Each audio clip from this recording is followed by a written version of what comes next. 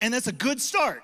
Okay, but I'm also, I want to, like I said, I want to look back and celebrate what God did. 102 people signing up to say, Yes, sign me up. I will serve God through the local church. But I also want to stir your heart that it's a daily commitment to wake up every morning and say, Today, I choose to serve God.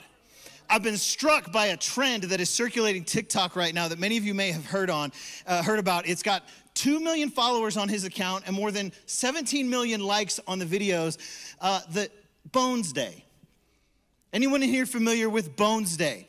There's a man by the name of Jonathan Graziano. He has a 13 year old pug named Noodle.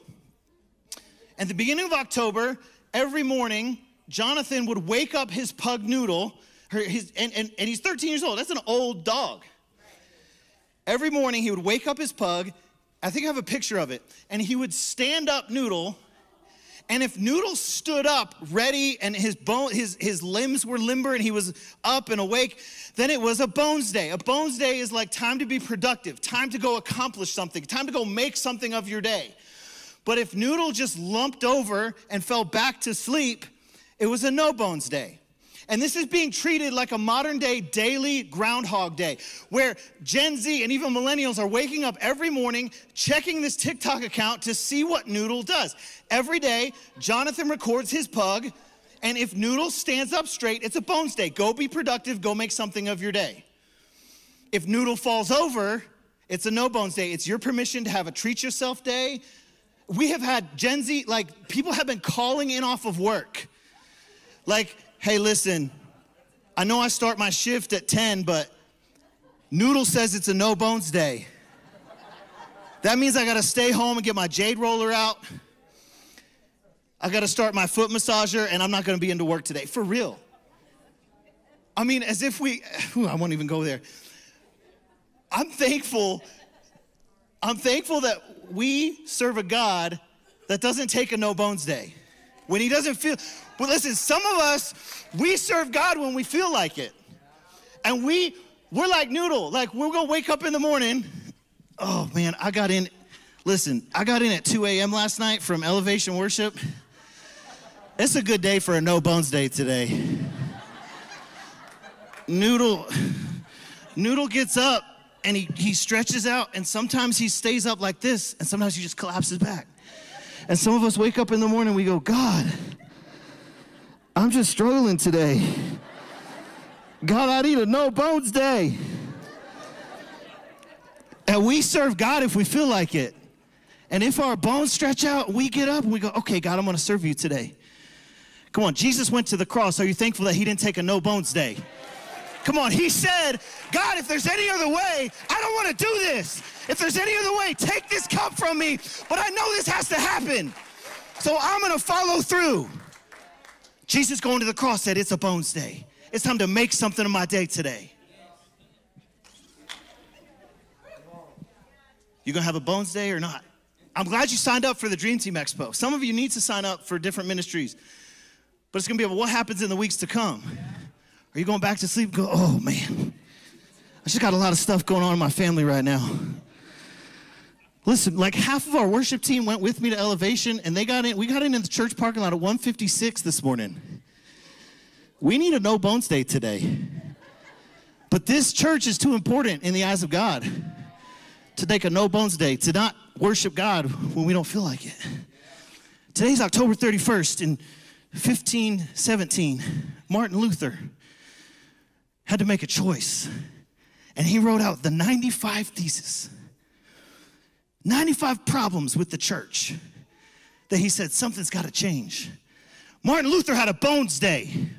And he took those 95 theses, he walked up to the doors of the church, nailed it on the front doors of the church and say, This ends now. And he began the Great Reformation. Come on, some of us, whoo, we got it's time for a bones day. It's time to do something for God. And I'll just say this as a disclaimer grief is real. We've seen a lot of grief in this season. If you, you got to take some time sometimes for your mental health, I get that. But don't let your feelings always dictate what you do. Ezekiel 37, I think of a bones day I read about in the Bible. Come on, this is a Bones Day if I ever read one. I don't know. I'm fired up today to talk about a Bones Day to make something of our life for Jesus. Camera people, are y'all keeping up with me? I'm sorry, I'm running around. I'm on the floor, I'm up, I'm all around, I'm keeping everybody guessing. Let's read this together. The hand of the Lord was on me, and he brought me out by the Spirit of the Lord and set me in the middle of a valley. It was full of bones. He led me back and forth among them and saw a, I saw a great many bones on the floor of the valley, valley, bones that were very dry. He asked me, Son of man, can these bones live? I said, Sovereign Lord, you alone know. Then he said to me, Prophesy to these bones and say to them, Dry bones, hear the word of the Lord. Sometimes you just got to tell yourself, Hear the word of the Lord. Noodle, Noodle, you lazy pug. Noodle, hear the word of the Lord. It's time for a bones day, Noodle. Get up. This is what the sovereign Lord says to these bones I will make breath enter you, and you will come to life. I will attach tendons to you and make flesh come upon you and cover you with skin. I will put breath in you, and you will come to life. And then you will know that I am the Lord. So I prophesied as I was commanded.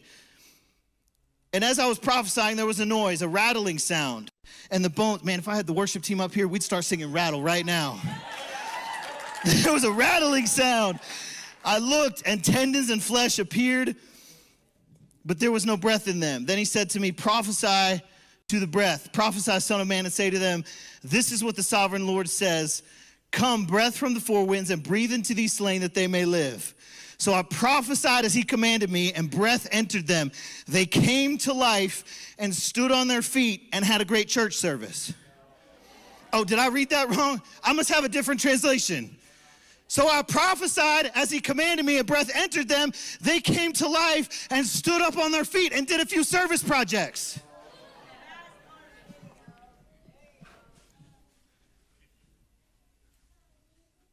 So I prophesied, and breath entered them. They came to life and stood up on their feet. A vast army.